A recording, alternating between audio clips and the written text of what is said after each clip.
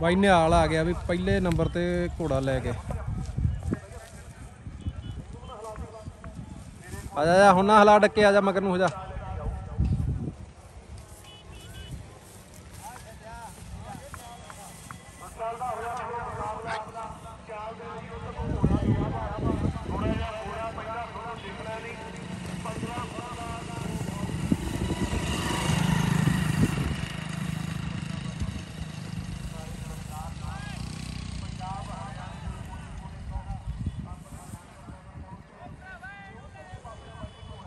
Time ਹੋ ਗਿਆ ਤਾਂ ਤਾਂ ਭਾਈ ਕਹਿੰਦਾ ਹੈ?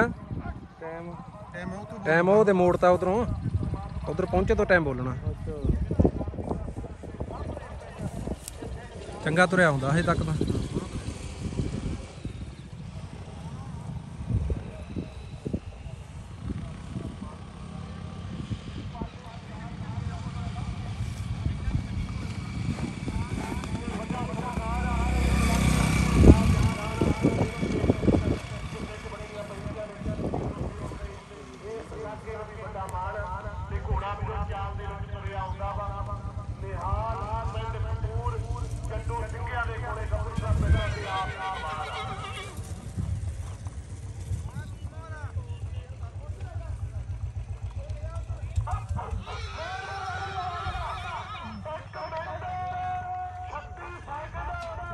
ਇੱਕ ਮਿੰਟ ਤੇ 36 ਸਕਿੰਟ।